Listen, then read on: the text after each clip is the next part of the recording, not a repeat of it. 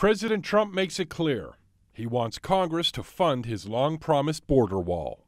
When you look at the caravans, when you look at the mess, when you look at the people coming in, this would be a very good time to do a shutdown. Mr. Trump referring to the groups of migrants who made it across Mexico hoping to seek asylum in the United States. The president also taking to Twitter over the weekend saying illegal immigrants trying to come into the USA will be detained or turned away. In another tweet, Mr. Trump saying, The U.S. is ill prepared for this invasion and will not stand for it.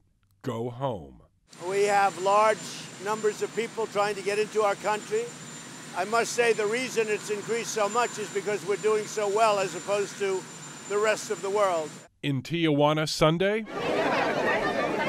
protesters upset with the influx of several hundred migrants also calling for them to retreat. But more are coming. A group of about 200 migrants left El Salvador this weekend. This migrant mom says she is happy because she has more hope because we are getting closer to the United States. And additional caravans are expected to leave their native countries in the coming weeks. I'm John Lawrence reporting.